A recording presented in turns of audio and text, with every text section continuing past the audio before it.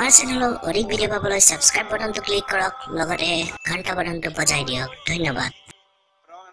Hello viewers কেনে আছে আপোনালোক আশা কৰোঁ সকলোৱে ভাল আছে। বন্ধুসকল শেহতীয়াকৈ হৈ যোৱা পুলৱামা কাণ্ডৰ কথা আপোনালোকৰ নিশ্চয় জ্ঞাত য'ত চৌৰাল্লিছজনকৈ ভাৰতীয় সেনাই ভয়ংকৰ আত্মঘাতী বিস্ফোৰণত জীৱন দি শ্বহীদ হ'বলগীয়া হৈছিল।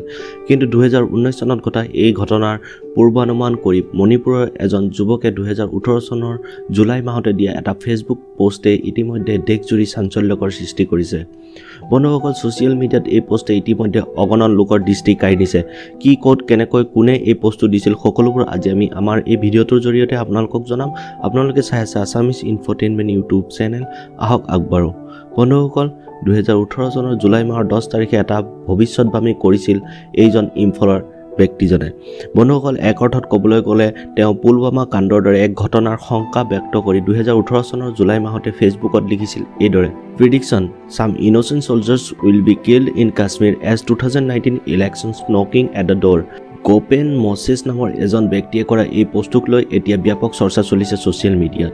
তেখেতে ইংৰাজীত লিখা এই পষ্টটোৰ অৰ্থ হ'ল যিহেতু দুহেজাৰ ঊনৈছ চনৰ ইলেকশ্যন নিচেই কাষত গতিকে কাশ্মীৰত কিছু নিৰ্দোষী জোৱানৰ হত্যা হোৱাটো প্ৰায় নিশ্চিত।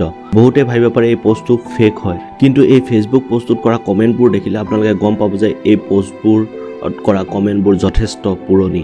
ইয়াৰ উপৰি পুলৱামা কাণ্ডৰ পাছত এই পষ্টটোৰ তলত একাংশই মন্তব্য কৰিছে তাৰে এটা মন্তব্য হৈছে ভাল অনুমান কৰিলে আপুনি আপোনাৰ ভৱিষ্যতবাণী মিলি গ'ল।